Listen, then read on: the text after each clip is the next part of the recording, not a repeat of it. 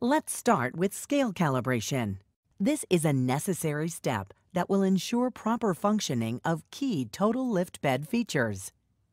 Scale calibration is especially important in order for the patented footboard feature, called the foot lifter, to work properly. While tilting, this valuable feature will automatically stop moving up once it reaches the patient's feet, or approximately 17.5 pounds of weight, and then begin the tilt function. If the scale is not calibrated, the foot lifter will not function properly. Let's learn how to calibrate the scales in five easy steps. First, plug the bed in to any standard outlet. You'll want to raise the bed so that the casters are off the ground and the bed is on its feet.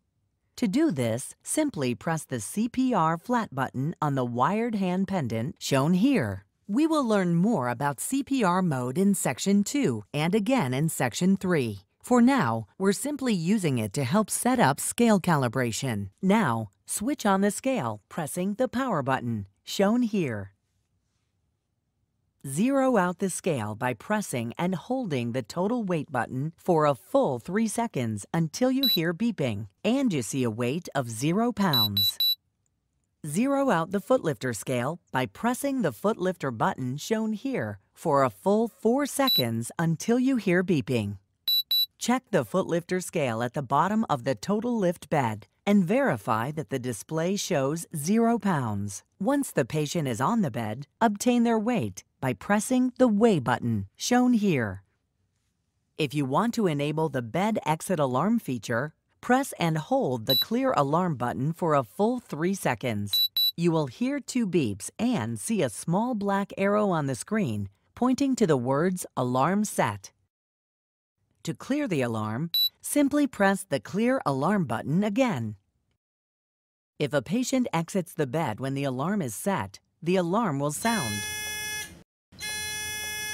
The alarm can also be triggered by removing essential items on the bed that you've accounted for, which we'll do in the next step. To clear an alarm, press and release this button on the scale controls. There may be instances when additional items need to be on the bed, so it's a good idea to adjust the scale calibration to account for the added weight. First, press the Hold button. Next, place additional linens or required equipment on the bed. Press the Weigh button. The scale will adjust for the added weight so that patient weight is still accurate. When removing items from the bed, repeat these steps to adjust for the change and ensure accurate patient weight. Please note that the foot lifter scale is meant for measuring weight bearing and not for measuring patient weight. When the foot lifter meets the floor, it adds an additional 16 to 18 pounds, or 7 to 8 kilograms, due to the weight of the footboard itself. In addition, there are two handy bed and foot lifter scale features you should also note. First, to switch between pounds and kilograms on the bed scale, just press and hold the weigh button for 3 seconds. Second, on the foot lifter, you can switch between weight-bearing pounds or kilograms and percentage of patient weight.